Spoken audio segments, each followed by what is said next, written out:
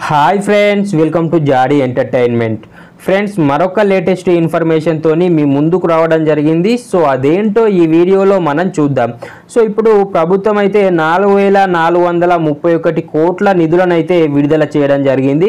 So మరి ఈ యొక్క విడుదల చేసినటువంటి నిధులు ఎవరికి చెందుతాయి? దీని ద్వారా ఎవరికి లబ్ధి చేకూరుతుంది అనేది ఈ వీడియోలో మనం చూద్దాం.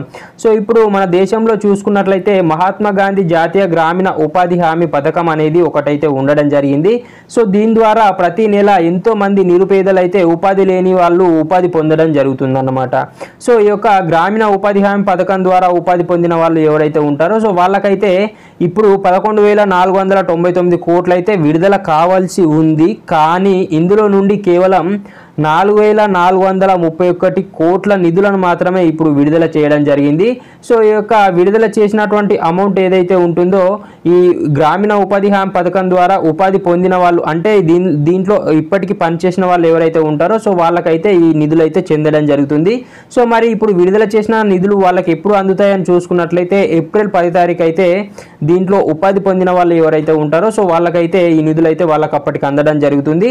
సో అదే విధంగా ఇప్పుడు మనకు ఈ యొక్క గ్రామీణ ఉపాధి హామీ పథకం ద్వారా ఉపాధి పొందే వాళ్ళకు రోజువారీ కూలి చూసుకున్నట్లయితే వాళ్ళకు నూట ఎనభై రెండు రూపాయలు అయితే దినసరి కూలిని కట్టించడం జరుగుతుంది. సో ఈ యొక్క దినసరి కూలిని అంటే మనకు రోజువారీ కూలి రేటును కూడా ఇప్పుడు మనకు పెంచడం జరిగిందన్నమాట.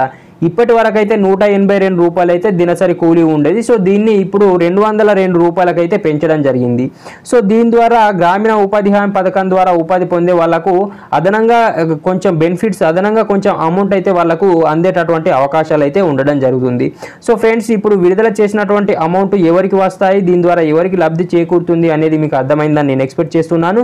ఇది కేవలం మహాత్మా గాంధీ జాతీయ గ్రామీణ ఉపాధి హామీ పథకం ద్వారా ఉపాధి పొందిన వాళ్ళ కోసం ఈ యొక్క నిధులు నాలుగు వేల నాలుగు వందల ముప్పై ఒకటి కోట్ల నిధులను విడుదల చేయడం జరిగింది. సో కేవలం ఇవి వాళ్ళకు మాత్రమే చెందుతాయి.